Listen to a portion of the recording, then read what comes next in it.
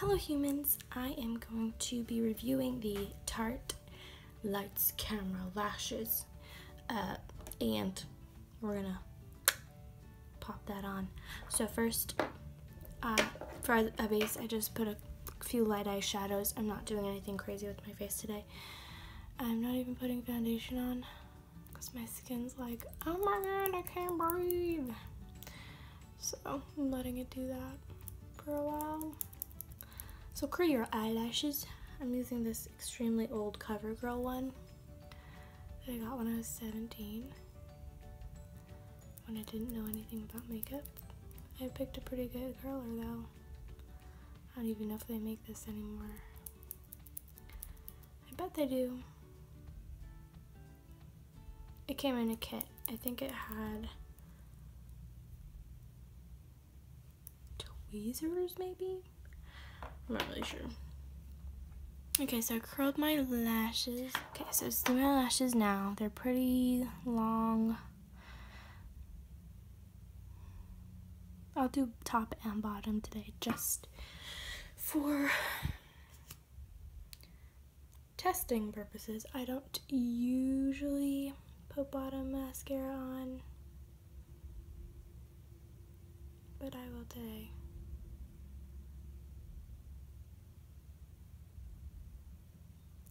I like the wand on this because it separates my eyelashes really well. It makes my eyelashes pretty feathery, which is the effect I like. Kind of thick, feathery, uh, volumized, not clumpy, not spidery, not wet looking, just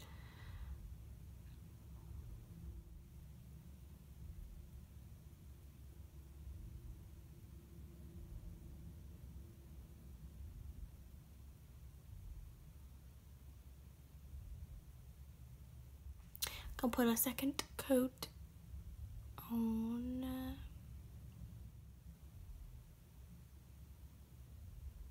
This mascara does hold a curl very well for me, um, which is important because my eyelashes are really long. So if it's a heavy mascara, they tend to like droop. It's kind of a bummer.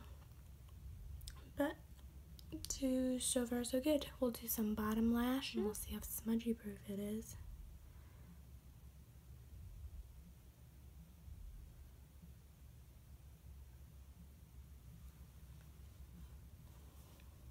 It's very black and thickening. I like that. Okay, so that's the finished product. Very long, voluminous black eyelashes.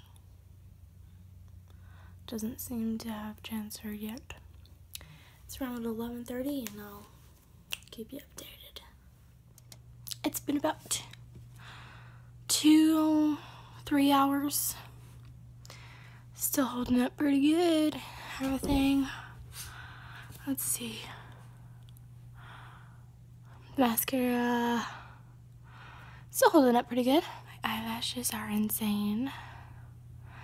So, it's a cute little update for you.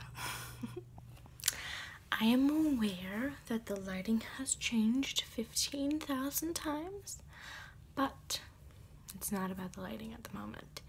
It's about the mascara.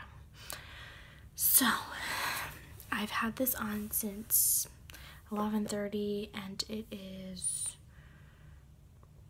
10.30 almost 11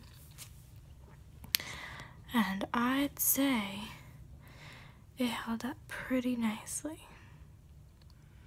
The only thing is it kind of creeped into my crazy cry creep creepy creepy eyelines. But I think it looks pretty bomb, dig bomb diggity. I did laugh a lot, so I think that's why these guys are clumping. But I think it looks really good.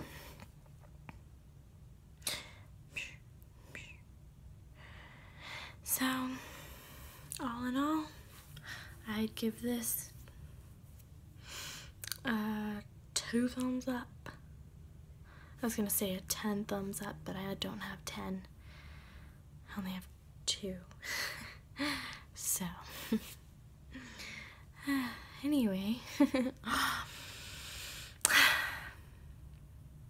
go ahead and purchase it. It's actually on HauteLook right now for $10. You get two mascaras for $10. I would snatch that up if I were you. Here to help.